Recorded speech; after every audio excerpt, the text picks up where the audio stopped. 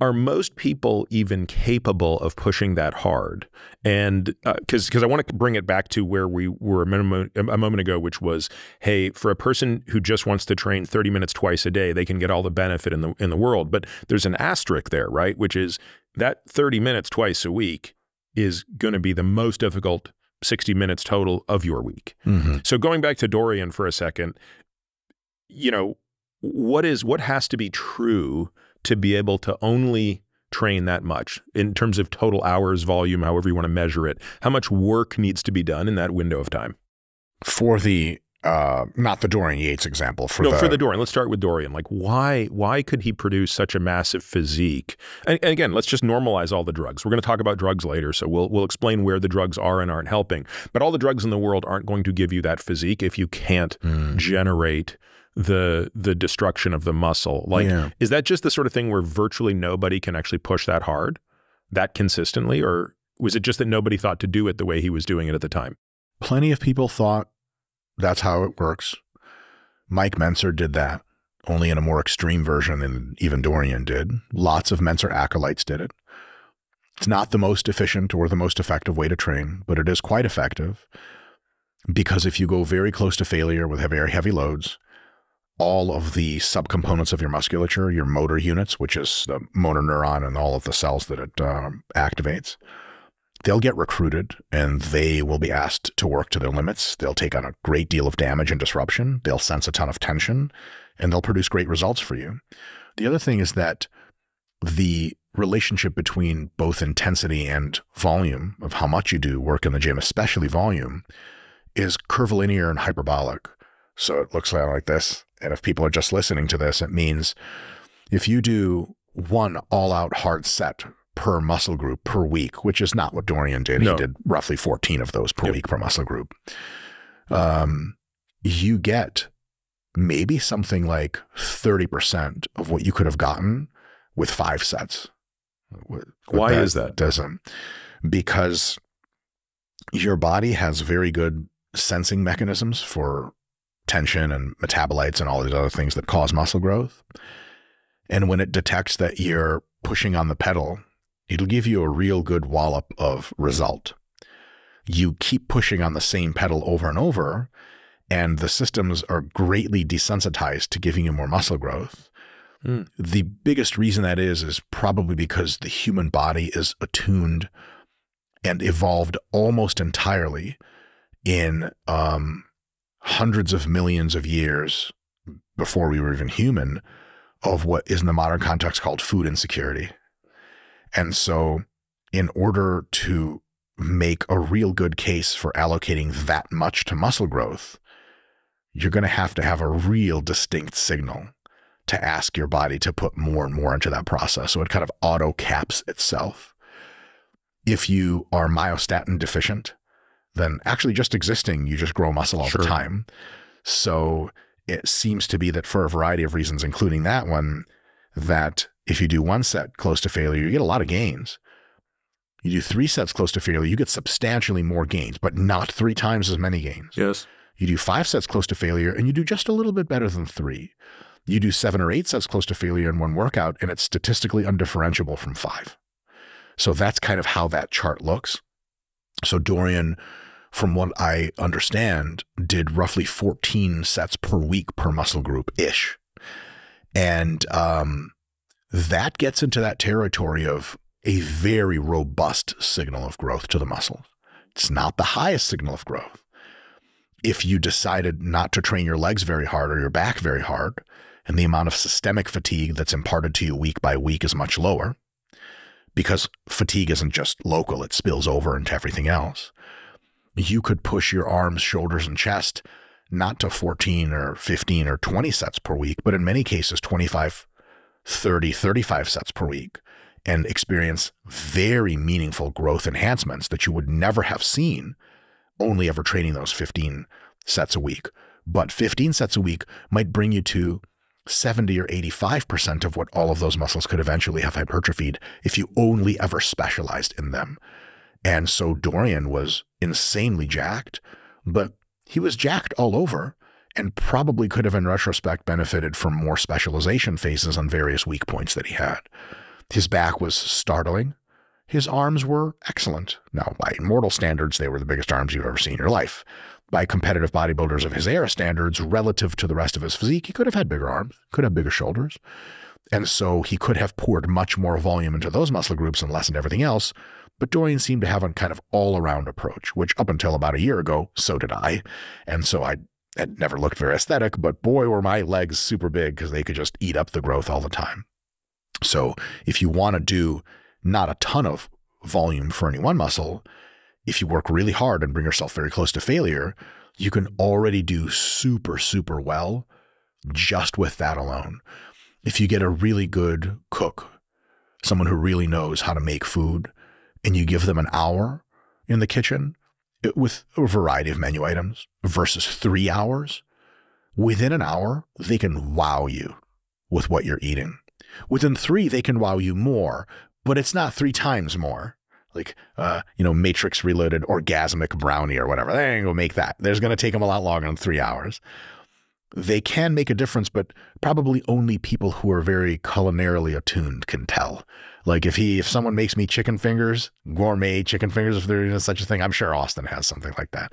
Um, then you know, an hour versus three, to me, it all tastes same, same. It's amazing to someone really, really with a refined palate, they'll be able to tell, but they can't lie to you and say, look, this three hour chicken finger, this is just categories above the one hour one. So, in a lot of processes in general, and luckily in the human body, getting some of the way to your body's maximum ability to recover actually brings you most of the way as far as results. And that's why Dorian could do what he did.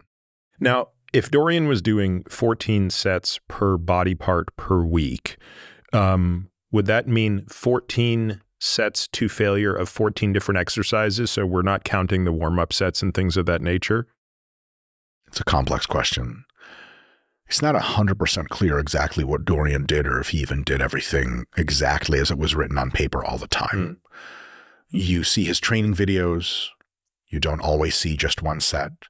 He would also have this thing like a warm up set that for him was a warm up, but for most people would absolutely be a work set. Right, right. So it may be more like two or three equivalents of a working set per yeah, exercise. Yeah, sort of maybe like maybe, maybe, there's like a total throwaway set, and then there's you know, a modest set, and then there's a two rep in reserve set that again, that's a real working set. Sure, which and for there's him a set to failure. Right. Yes. Yeah. So according to his categorization, the only work set was the one that was absolutely to true muscular failure, sometimes with forced repetitions, which you would also have to integrate because forced reps is when someone helps you lift the rest of the weight, or if you do a drop set, you use less weight right after you went to failure. We shouldn't count that as just one set. Yep. Uh, it wouldn't be the most correct way to think about it. So. And when you compare that to the example of the three hour chef, so now the person who's willing to put in 30 sets per body part per week, do any of those sets need to be to failure, or are you counting those as, hey, these would be sets of two reps in reserve, one to two reps in reserve? Almost all of the literature that has found out that if you don't systemically fatigue the whole body too much, any given muscle or several muscles you can push into the 30, 40, 50 plus set range per week. Almost every single study done to elucidate that understanding was done with uh, muscular failure studies, true failure. Truer failure than you'll see in the gym because these people are uh, training in laboratory conditions with master students screaming at them to keep going. Most of us have never trained that hard consistently. Yeah. So people can still recover. Now, these are undergraduates um, that are recreationally trained typically, so they can neither do a lot of damage, um, nor are they impeded by age and prior injury and all this other thing. So I would say that whatever amount of sets you have to do to get a certain amount of whatever amount of growth you want, you can get there in a few different ways.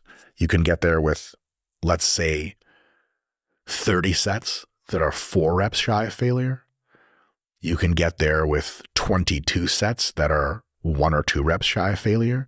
And you can get there with 20 sets that are all the way to absolute muscular failure. So if you are really training not so super hard for reps in reserve, you'll have to do substantially more sets to see the same hypertrophy. But study after study after study illustrates that when you're getting one or two reps away from failure, it is often statistically undifferentiable on raw growth than going all the way to failure. However, the fatigue of true failure training, probably mostly because of that nervous system component, is exponentially higher. And so, as far as an efficiency and long term sustainability strategy, training all the way to muscular failure every session as a matter of principle is probably on the margin suboptimal. And should probably, most of your sessions should be one or two reps in reserve. Like if you're doing dumbbell presses, you think you finish your last rep and you're like, gun to my head, I could do one or two more, but that's it. Most times it's probably best to stop at that point because what you're getting if you go north of that is a 10 to 1 fatigue to stimulus ratio, whereas everything before was like one to one, two to one, three to one, five to one, and all of a sudden it's 10 to one. It's a lot of fatigue cost to pay for what in the literature chronically ends up being either tiny, tiny bit better or not better at all. Which says nothing of the risk of injury when you drop that dumbbell on your pec, which I don't know anybody that's done that, but I've been told it really hurts when you fail in a set of dumbbell presses Oh, and totally boy. collapse Just with avoid a, your head. with a dumbbell on your pec that turns black and blue. Oh, good God. Yeah, Yeah. I would that- never know that. All, all sorts of things. I just like to aim for the genitals at that point. Might as well have a cool story. But uh, yeah, the training to failure, uh, the vast proportion of people that really propose that training to failure is somehow special for results, they didn't reason their way into that. They emoted their way into that. Training to failure is something the 13 to 19 year old you would have really found a lot of spirit energy in, as I like to say. It's um adult male putting on his hat of I'm a mountain goat and I run into shit. That's what I do. I saw an adorable video of uh, uh, some folks that own a few goats and a few dogs, and the, there's their pit bull is like hi- not hiding but sitting under this like little thing, and there's like uh, a teenage goat that's looking at him, and he jumps up on his hind legs and tries to like hit him in the head, and the pit bull backs up, and he's like, ah. and the goat just tries to do that again. He's just trying to get it on, like he just wants to hit stuff. That's all he wants. And so when you're a young male, when you are prone to wanting success for yourself, you're the type of sort of type A personality that wants to look back on their life. And if you had to roll the dice and say, the reason you weren't optimally successful is that you worked too hard, they'd be like, ah, sweet, whatever. That's kind of cool. But if, they saw the dice roll and say, well, the reason you weren't optimally successful in life is because you didn't work hard enough, they would not live with themselves. Those kinds of folks generally tend to go to muscular failure for just that, like, the spirit energy. It feels right, damn it. And it feels good and it's um purifying almost at a an existential level to be able to have given something your all in the face of challenge, in the face of injury risk, in the face of grotesque pain. And you know this from sport experience. When you're really, really tired, your whole existence is screaming at you to stop.